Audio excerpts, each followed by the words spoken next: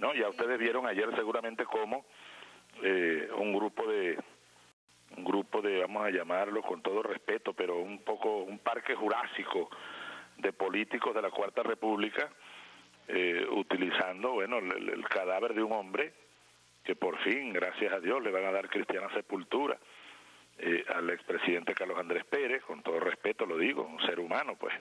Sin embargo, una especie de show jurásico y aquellos discursos que anoche anoche los vi un poco por, por la hojilla.